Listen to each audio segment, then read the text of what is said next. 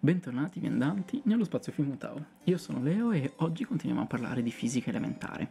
Oggi, come dal titolo, misurare significa commettere errori e andremo a parlare di misura, del processo di misurazione e poi degli errori.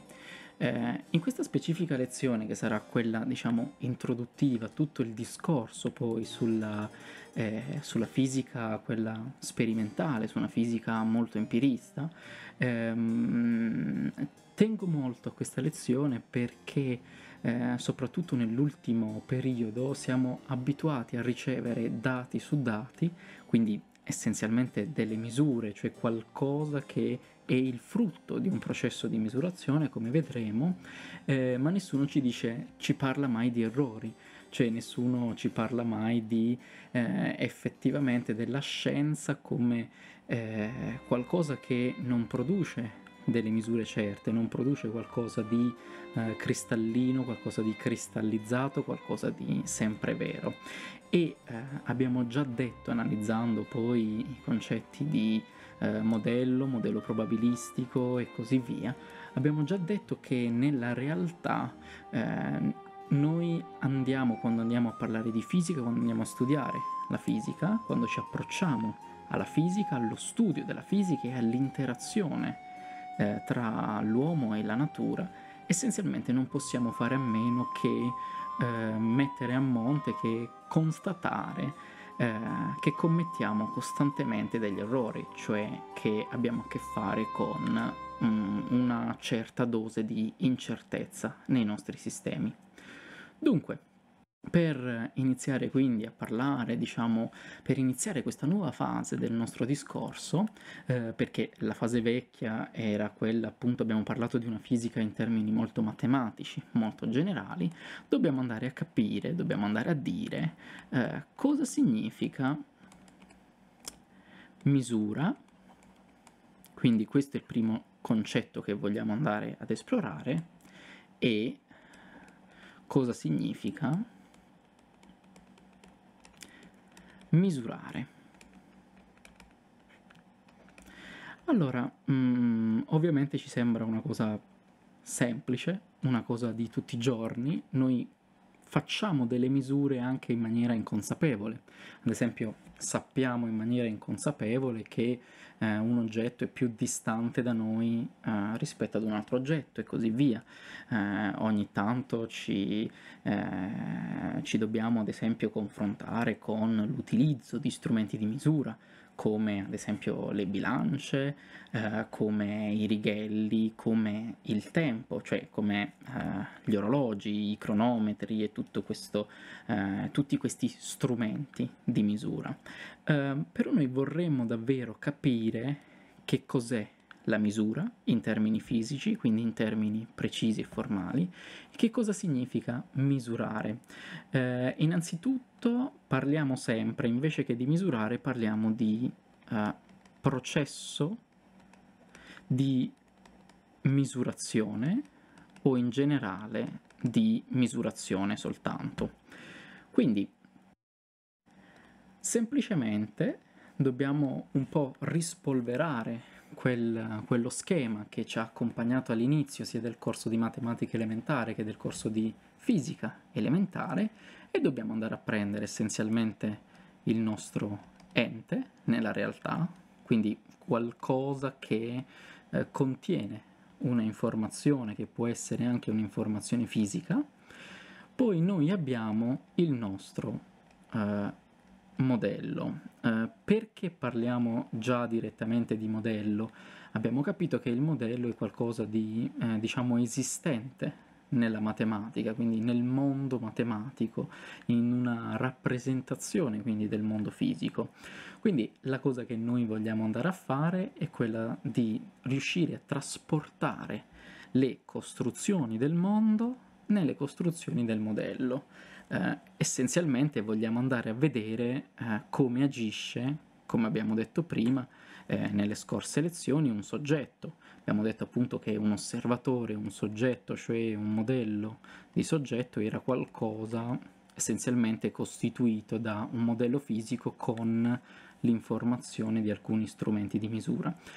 E ovviamente questo, uh, ovviamente il prendere l'informazione dal mondo e il portarla nel modello, quindi matematizzarla essenzialmente, quindi misurarla, eh, è essenzialmente l'azione dell'osservatore ed è propriamente quello che noi eh, diciamo essere il processo di misurazione. Um, in realtà, in termini proprio tecnici più specifici, il processo di misurazione non termina solo qui, cioè non termina semplicemente diciamo, da ehm, una, diciamo, un'estrapolazione della informazione dal mondo e poi eh, portata diciamo nel mondo dei modelli, cioè nel mondo della matematica. In realtà il processo di misurazione è il processo che partendo dal mondo produce la misura. Eh, quindi può essere anche un processo che mh, ha una buona parte eh, ancora nella matematica, quindi è parte diciamo eh, costituita da questo processo, quindi da un contatto tra il mondo e la sua rappresentazione, ehm, ma poi potrebbe avere anche una, diciamo, una ulteriore parte eh, costituita poi nella, nell'analisi di, eh, di, quelle informazioni che noi abbiamo estrapolato dal mondo esterno. Una cosa importante da dire è che eh, mentre nel mondo esterno, diciamo, abbiamo tutti i problemi eh, filosofici di cui mh, mm, siamo abituati, eh, soprattutto per chi, eh, diciamo, pratica la filosofia, quando quindi noi applichiamo il nostro processo di misurazione, otteniamo quelli che vengono chiamati dei dati. Eh, cosa sono i dati? Sono nient'altro che una rappresentazione matematica di eh, delle proprietà dell'ente. Ehm, qualcuno potrebbe pensare che quindi i dati siano già eh, qualcosa, siano già la misura. In realtà non è vero, i dati non sono propriamente la misura, i dati sono una fase del processo di misurazione, perché dopo, dopo che abbiamo ottenuto i nostri dati, quindi dopo che abbiamo preso i dati, i dati vanno analizzati. Come si analizzano i dati? Si analizzano con dei processi tipicamente statistici, perché quindi qui stiamo parlando appunto di statistica, e dopo l'analisi dei dati, quindi l'analisi fa parte del processo di misurazione, noi produciamo propriamente una misura.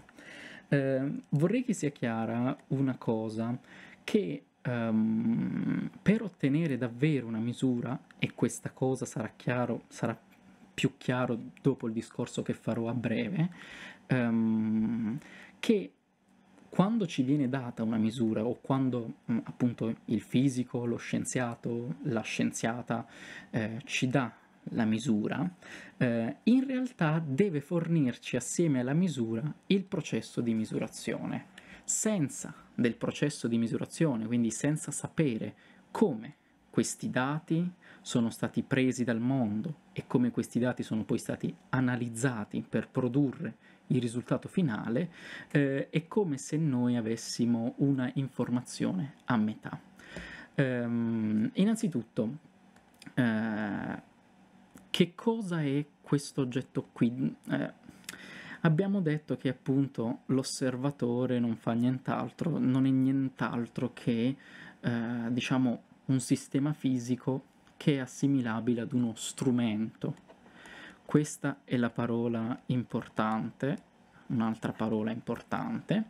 Eh, essenzialmente noi possiamo estrarre informazioni dal mondo esterno, utilizzando gli strumenti. Gli strumenti sono dei sistemi fisici i quali riescono quasi per magia, perché eh, se andassimo diciamo a, ad analizzare tutto il, tutto il problema epistemologico, eh, quindi tutto il problema che eh, diciamo è legato al come gli strumenti effettivamente producano i dati, ehm, ecco ci metteremmo ore intere, ma comunque dobbiamo sapere che quindi Mm, il processo, la prima fase almeno del processo di misurazione, eh, quella quindi proprio di contatto tra il mondo fisico rappresentato dai modelli, e il mondo eh, degli enti, quindi rappresentato dalla realtà essenzialmente, eh, avviene attraverso gli strumenti. Una, diciamo, un assioma, un principio che noi associamo ai nostri strumenti è questo. Questo, diciamo, è, è il principio più importante che poi ci fa capire da dove provengono gli errori. Ehm, il principio che vi voglio dare è questo qui. Eh, ogni strumento, quindi tutti quelli che noi possediamo, ehm, non è perfetto o come direbbero i fisici non è ideale. Cosa significa questa cosa qui? Che ogni strumento, qualunque strumento di cui noi siamo a disposizione, non ci darà mai quello che è il valore vero del nostro dato.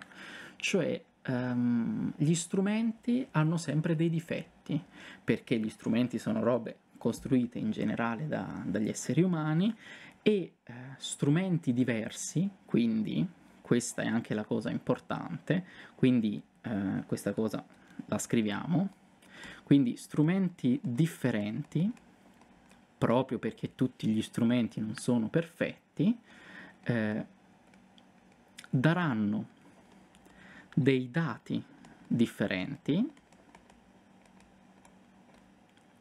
quindi produrranno, si dice, dei dati differenti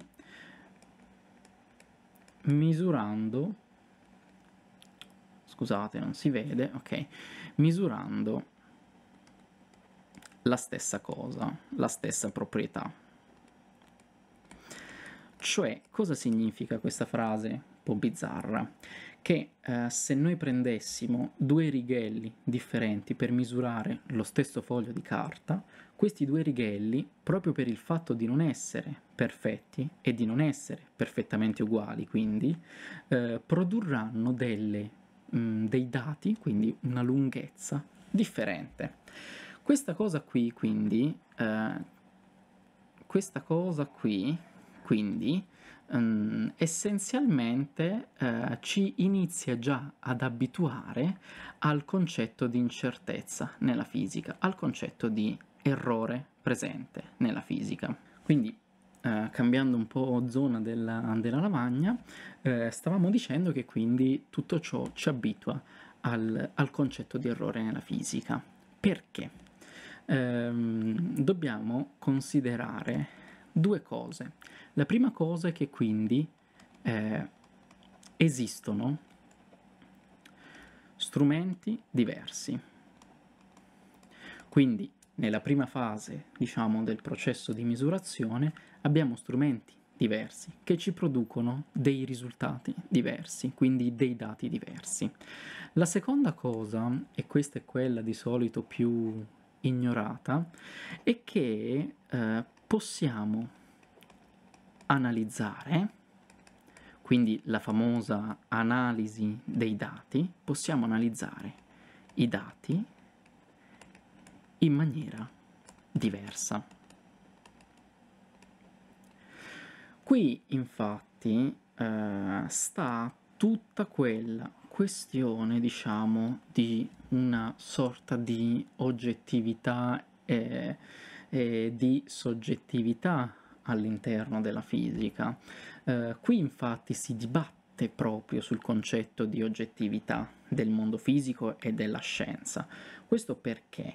Perché quando noi abbiamo dei dati che ci provengono dai nostri strumenti, quindi quando noi abbiamo il, la prima fase del processo di misurazione, già i dati sono qualcosa di incerto, cioè sono qualcosa di, ehm, che noi non sappiamo con certezza, perché noi non abbiamo la maniera di capire quale dei, degli strumenti ci sta dicendo la verità, cioè quale degli strumenti ci sta dando il valore esatto della, della nostra misura.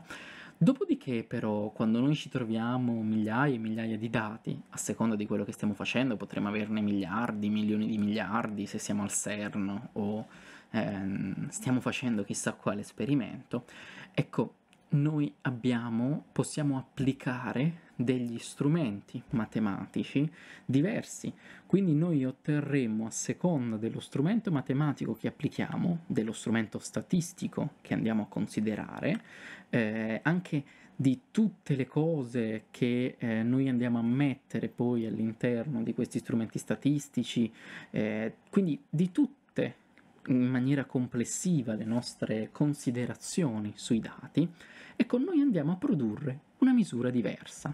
Quindi in generale queste due cose ci annunciano che innanzitutto tutte le misure sono eh, associate a degli errori perché tutti gli strumenti sono imperfetti e perché non esiste una singola eh, maniera di analizzare i dati. Quindi ogni misura, quindi misurare, significa commettere errori, significa produrre delle incertezze nei nostri dati.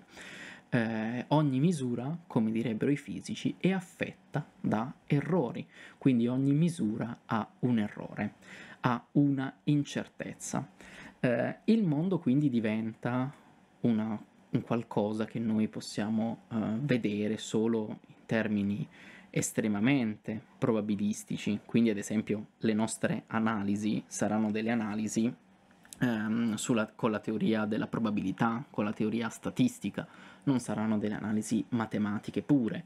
Ehm, quindi dobbiamo anche abituarci a, um, ad analizzare il dato non in termini assoluti, ma, in termini, eh, ma nei termini appunto che al dato competono, quindi nei termini probabilistici. Ovviamente dovremmo utilizzare modelli solamente probabilistici. Mm, da questo punto di vista, quindi, che cos'è una misura. Uh, quindi noi abbiamo dei dati, quindi essenzialmente qualcosa di numerico, di qua facciamo la nostra analisi e otteniamo propriamente la misura. Eh, la misura, allora, quindi, sarà sempre, e questa cosa, diciamo, la, la, la, vedremo, diciamo, nel futuro anche in maniera un po' più formale, sarà sempre quindi un numero più, diciamo, un numero che ci indica l'incertezza. Cioè, noi supponiamo di aver calcolato, di aver misurato e poi analizzato i dati eh, della lunghezza di un foglio. Quindi noi, eh, in, diciamo, sempre, lo facciamo molto molto spesso, diamo un numero secco. Noi diciamo che il foglio misura tot. Questa strada è lunga, facciamo finta 2 km. In realtà eh, la fisica vuole un'analisi vera sul mondo, vuole che eh, la misura sia magari veramente un chilometro, ma poi dobbiamo dire a chi stiamo dando la misura, chi stiamo dando questo risultato finale, di quanto ci siamo sbagliati in maniera probabilistica. Quindi ad esempio possiamo dire che ci siamo sbagliati di eh, 0.01 km, quindi ci siamo sbagliati essenzialmente di 10 metri. Quindi quando noi abbiamo calcolato, diciamo abbiamo fatto le nostre misure, eh, abbiamo sì misurato che è un chilometro, ma non lo sappiamo se è proprio un chilometro preciso. Perché? Perché abbiamo questa incertezza che si manifesta con un numero. E questo numero che misura la nostra incertezza lo chiamiamo errore. Quindi è, eh, diciamo, queste sono le nozioni fondamentali. Andremo a capire quindi quali sono le fonti eh, dell'errore, quindi andremo a capire da dove gli errori provengono, come poter gestire gli errori, come poterli calcolare. Andremo a vedere anche quindi a questo punto che cosa è questo numero, che è in realtà il valore più probabile più probabile che noi possiamo calcolare. E, um, abbiamo già detto che quindi l'errore è la manifestazione in termini matematici, quindi nei modelli, della nostra incertezza. Eh, se mi avete seguito fino adesso, evidentemente eh, l'errore avrà sia una fonte strumentale, quindi una fonte che deriva dal fatto che eh, i nostri strumenti non sono perfetti, sia una fonte che deriva appunto da uh, come noi abbiamo analizzato i nostri dati, quindi da come noi abbiamo analizzato i nostri, uh, i nostri valori che abbiamo ottenuto dagli strumenti. Uh, I dati ovviamente sono nient'altro che delle misure che noi ripetiamo, cioè eh, noi utilizziamo il termine misura, diciamo, in maniera anche molto vaga, eh, il dato è essenzialmente quel, quel numero, quel, quella informazione che viene estratta dallo strumento. Quindi io eh, se ho il mio foglio di carta, eh, ci metto il mio righello a fianco, voglio misurare voglio sapere quanto vale diciamo eh, questa distanza qui quanto vale quindi questo, uh, questa distanza qui. Quindi io metto il mio righello il mio righello mi darà un numero. Mettiamo 10 centimetri. Um, se io metto un altro righello magari il numero che mi verrà sarà 10.2 centimetri. Un altro ancora mi dirà che sarà 10.1 centimetri. Tutti questi sono dei dati. Eh, anche mettendo il righello, lo stesso righello, più volte, eh, misurando, tentando di misurare lo stesso intervallo, noi troveremo risultati diversi. Questo perché?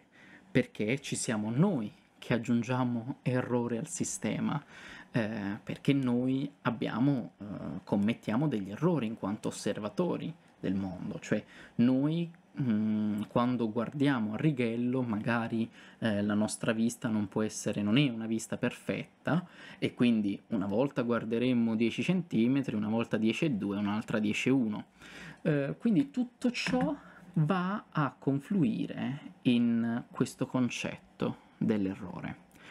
Eh, quindi ricapitolando, quando noi eh, abbiamo questa cosa qui deve valere sempre, ma eh, non solo diciamo per gli scienziati, ma anche per i giornalisti, per chi fa informazione, ma anche volendo per chi prende l'informazione. Um, la cosa che dobbiamo capire è quando qualcuno ci dice, ci dà un numero, un numero che proviene da un calcolo sperimentale, non ci può dare il numero in assoluto.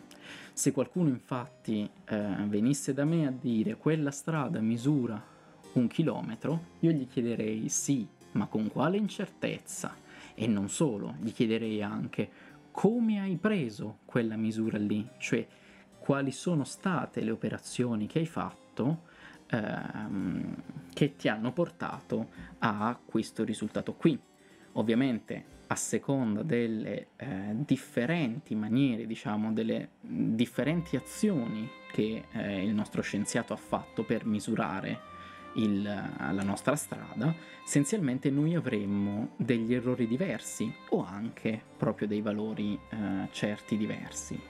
Quindi, senza dilungarmi oltre, perché ho messo davvero tanta carne al fuoco, ma col tempo andremo a chiarire tutti questi concetti, ehm, che vi rimanga soprattutto il concetto che eh, la scienza non produce dei risultati assoluti, ha sempre degli errori, quindi anche tutti gli indici statistici, gli indici sociali, sono tutti legati a degli errori, tutte le percentuali che ci scorrono eh, davanti agli occhi ogni giorno, in realtà sono delle informazioni a metà, sono delle informazioni che non sono informazioni, perché nessuno ci dice il processo di misurazione, cioè come sono stati ottenuti i dati, né tantomeno nessuno ci parla mai di errori.